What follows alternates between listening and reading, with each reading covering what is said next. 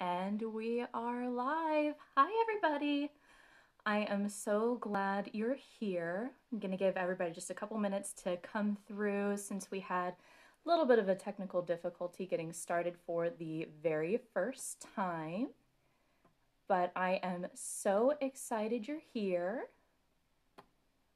And today is Wednesday, which means it's time to allow some spirit wisdom to flow through. And if you're new to me, I want to thank you for crossing paths with me. My name is Meredith Johnson with the Healing Hummingbird. And I am a certified shaman and Reiki practitioner. My purpose through my business is to help compassionate, go getting spiritual people reclaim their power and heal themselves so that they can illuminate their life purpose and embrace a path of joy and peace.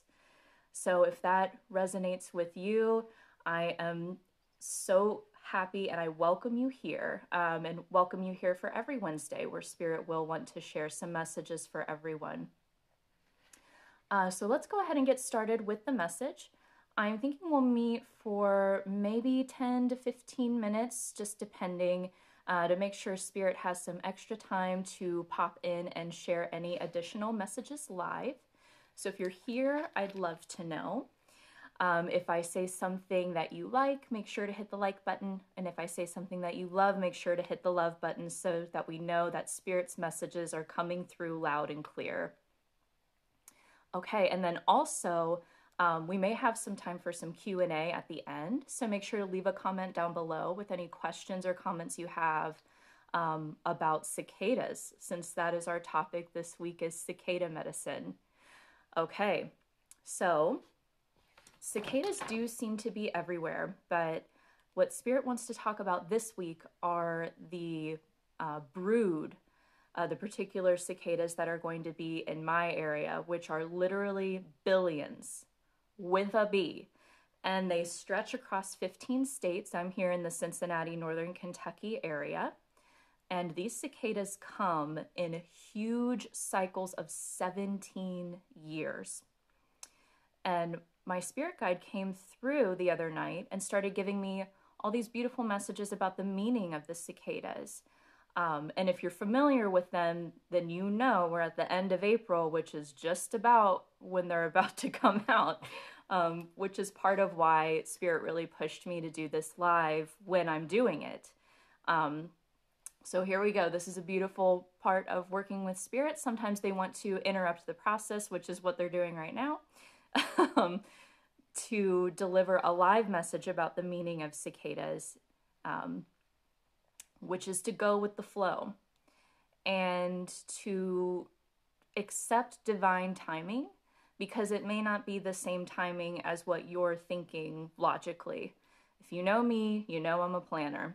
And I was thinking, okay, Spirit, so when we do our lives on Facebook, I want this background and I would like everything to be so, so just perfect. And they're like, no, no, we're going to do cicadas. And guess who's going live on Wednesday? It's going to be you. So um, I think that ties in with cicadas because they all somehow know to all come up out of the ground all at the same time. So I think the number one um, surprise message about cicadas is divine timing and welcoming divine timing into your life and being receptive to that. So let's get into some of the messages my spirit guide gave me the other night. I have invited them here into our sacred healing space in case there's any live messages they'd like to continue to share with you. So I remember the last time they were here. So we had said before they come every 17 years, right? So the last time they were here was 2004. I was in middle school. Terrified. Okay. Did not love that. Did not love that for me. Um, kids would throw them at each other. They were really, really loud. Um, like a normal summer, you know, you'll kind of hear some some um, locust or cicada kind of chirping in the background. These are in huge swarms. They will cover a plant, they'll cover the base of a tree because this is like, you know, they have a few weeks to get it done and then get back in the ground for another 17 years. So they're super active. Um, but it might be because they've been sleeping for so long. they are kind of clumsy. So I remember walking from the bus in the parking lot to the doors of my school and they will just fall out of a tree and hit you in the head or they'll just run into you because there's just so many of them and you're in their tor- territory if you're outside while they are here. So that's the biggest memory I have of them was just being scared. Oh, I hope you saw that the lights flickered, um, which one of my spirit guides does um, give electrical signs. So I hope that you saw that in the video. So the first message that this particular spirit guide came forth with was the cicadas come to remind you of a cycle that you have the opportunity to heal. And now this is a big cycle. We're talking 17 years. Um, you know, if you're in the same area that I am or in one of the 15 states that these particular cicadas are going to be in. So that would be a pretty big cycle. So think back to a theme or event from your life from that long ago, from 17 years ago, because it could be coming up again. Um, and if this message is resonating with you, it might be helpful for you to research the kind in your area because the timing can be different. You know, maybe you have cicadas that come up every five years, every 10 years, something like that. But it's an opportunity for you to look into your history and see, um, you know, if, if anything is coming up or if anything is needing to be released. So, to kind of give you an idea, I'm being urged to share this now. Um, for me, you know, my cycle may have something to do with fear because that's my biggest memory from the last time that they were here, or that was my reaction to them. Okay, so now they're revealing, so it's not, it's, you know, the fear was the reaction, but what really happened, right? It was something really unexpected. So maybe my cycle has to do with fear of the unknown or trusting and accepting the flow of nature and of the universe. Another theme from that time in my life was I was in eighth grade and I was getting ready to transition into high school. So I may have an opportunity to level up in my studies or my career as soon as they emerge. So, just to kind of give you an idea, wanted to share that example from my personal life. Um, so, another message of the cicada that my spirit guide shared was that they represent abundance and miracles um, just because of the sheer vastness of the swarm that's going to be here. You know, that's an invitation to embrace, you know, it's like, I just remember it literally, you will see them you know, almost like a flock of birds, but it's a flock of insects, right? So it could also have to do with shifting your perception and things like that. But embracing and allowing abundance and, mir- and miracles to enter your life, just like the cicadas do, is another one of the messages. And um, another one that they gave me in advance was that it's a huge vibrational shift now, I think this may be one of the most important messages because even if you're not in one of the areas where all of the cicadas will be, there's going to be so many of them coming out of the ground, it will probably affect you in your area if you are energetically sensitive. So it's a huge vibrational shift and a need or an invitation to communicate from your heart because that's one of the first things they start doing, right? They come out, they emerge, and they have a lot to say. Hey, Don, so glad you're here. So glad to see you. I see your comment there. Um, but another thing about emerging and communicating from your heart, um, my spirit guide wanted to tie that back into my original fear that I had of them as a kid. Um, and he encouraged me although you know our spirit guides are so understanding. It's like hey i get it. You know it's a lot. It's they're big bugs and they have a lot to say. But he did encourage me to be curious and receptive to them just as a marvel and miracle of nature rather than feel um, disturbed by their numbers and noise. Let's keep it real. Um, okay. So now I would love to hear from you. Have you ever experienced cicadas before? And if you remember, what was it like? Let me know in the comments below.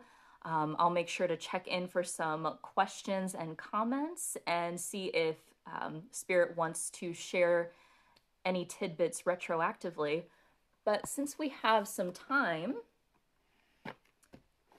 if you are interested in feeling called to, let's pull some cards. So I will invite you here. We'll do three different groups.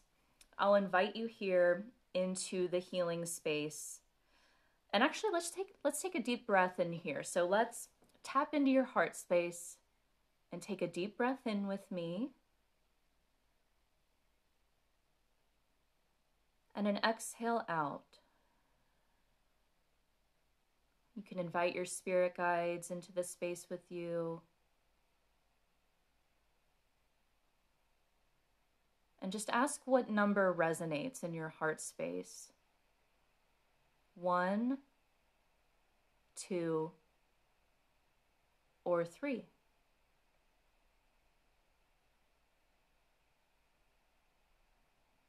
Okay. Now that you have your number, let's see what Spirit wants to share. Okay, so we're going to start with group number one. Spirit, what do you have to share with group number one? Say for the week ahead, since they'd like for us to meet weekly. What's the weekly message for group number one? Ah, okay. So group number one, you have the sage. That might be mirrored, but it says sage. Be devoted and committed. So I often got this card when I was studying to be a shaman. Um, it was a one year program. So maybe one year might be a significant time period for you. Um, but one of the messages of this card is to embrace divine timing, right? Which was one of the messages of the cicada. So that ties in perfectly. Um, I also see that he is featured outside. So maybe connecting with nature could be important to you. Um, I'm also getting the message that there might be a special tree around you. So there could be a type of tree that's around your house that you really love. Um, and spirits urging you to either connect with that tree directly or maybe look up the meaning of the tree. You know, an, an easy way to do that is to type in, um, you know, whatever blank medicine. Like today's message is cicada medicine. So that is, you know what, group number one, I think you have another card. Let me see what it is to complement the sage. Okay. And we have guardian angel. You are not alone. So for group number one, they're asking you to be devoted and to remind you, and they want to remind you that you are not alone. That when you devote yourself to this path and you trust Spirit, that they will always walk with you. So that is the message we have for group number one moving forward into the week. I hope that resonates with you. And now let's move on to group number two. If number two resonated with you, let's see what your spirit guides want you to know for the week ahead. Group number two. What does spirit want to share with group number two? Okay, we have she wolf. And it says, unleash the wild within. So we did just have a full moon. So this could be talking about your connection to the divine feminine or connection to the moon cycles. Um, for me, anytime the moon is brought up, this also reminds me of uh, women's health. If you identify as female, you might want to look into that. Or just natural cycles in your body, no matter what you identify as. But I'm feeling there's a real need here to follow a natural instinct. Like if you have the urge to communicate with someone, um, or to just post something or announce something, um, Spirit's inviting you to do that and to kind of just let it out. You know what I mean? Um, like most of us walk around thinking about what would what would be appropriate in this environment like if you work in an office or something like that you may feel really restrained about what you're allowed to do and say so spirit saying within the next week you're going to have an opportunity to kind of just release something um, and it doesn't have to be like in the workplace you know they'll provide a, a safe space and time for you to do that but they're saying, you know, they're talking about instincts and it's almost like an animal instinct. Like I know I have to say this and I know I have to do it now and they're they're telling you that that is spirit with you, that that's divine guidance and to let it happen is what they're saying. Just let it happen, let it come out, let it flow. That is within your best interest. So that is our message for group number 2. And for our last group, group number three, okay, again, we are asking Spirit what they would like to share with you about the week ahead. For group number three, okay, and this one flipped over. You have the drum and it says dream and journey. So I feel there's a need to, Spirit's making me feel like the rhythm of the drum. And they're talking about routines and grounding. So they're talking about establishing a routine, you know, trying to wake up around the same time of day, trying to go to bed at the same time of day, and to really establish a rhythm and flow of your life. Oh, they just had me start shuffling. Let me see. okay, and you also got the spring card. This one also flipped over. Spring, and it says, see your seeds grow. Okay, so with the drum and spring, I'm picking up on the routine that we talked about establishing, making space for manifestations to come through. So, this reminds me of part of one of my practices as a shaman is holding sacred space or creating an environment that allows health and healing to happen. So, by creating a routine, um, and I feel like this this is more of like a spiritual routine, more of a spiritual practice. So maybe like meditation or journaling or something like that will allow your manifestations to come in. I was going to say faster, but they said bigger and brighter. So again, that was the drum and spring. And they're wanting you to establish that routine to allow those manifestations to come in. And um, there's also a message here about gardening. Um, so maybe you're a gardener or you connect with flowers in some way. Um, but Spirit's bringing that up as well as something that could be really healing for you to interact with, which is flowers and plants. Okay, that is going to bring our live to an end. Let's see. Dawn says, love, rhythm, and flow, drum and spring, creating sacred space. Absolutely. That was a beautiful message from Spirit that came through.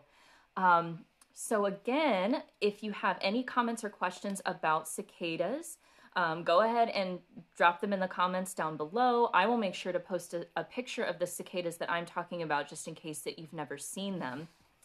Um, but yeah, so again, I want to thank you for crossing paths with me. Thank you for sharing your energy with me. I'm sending you so much love and light, and I will see you again next week. Bye.